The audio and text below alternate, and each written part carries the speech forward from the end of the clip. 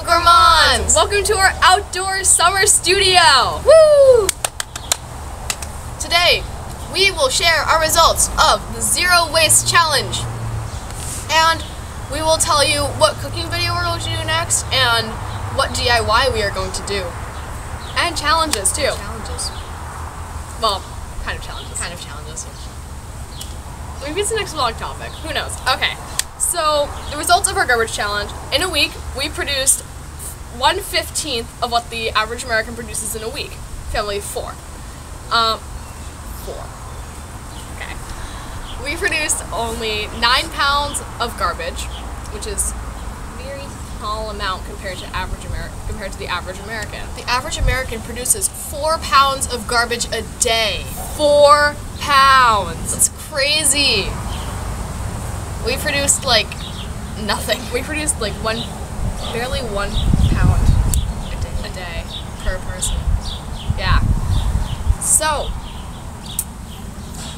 yeah, that was a little crazy for us that we found out how much the average American produces and that we are 115th of what they do.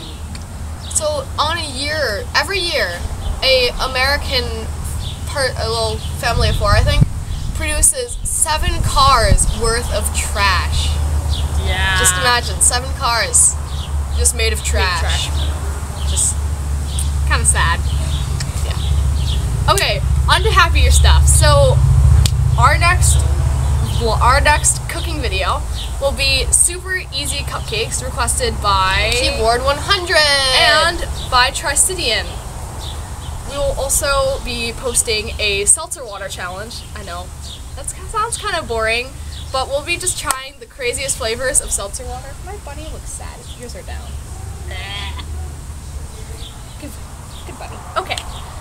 And this morning for with our breakfast, we had this really weird flavor of seltzer already, which was strawberry watermelon, and it tasted like lip gloss. it was amazing. It was so good, but kind of weird at the same time. Um,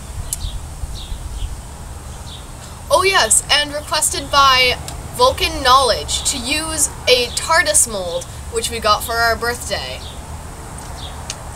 so we're So- going to either make gelatin or a cake in the TARDIS mold. Let us know if you want to see gelatin slash jelly or cakes in the TARDIS mold.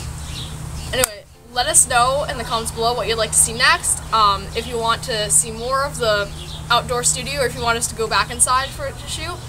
Um, and be sure to like, comment, and subscribe. And thanks for watching. Until then, bye!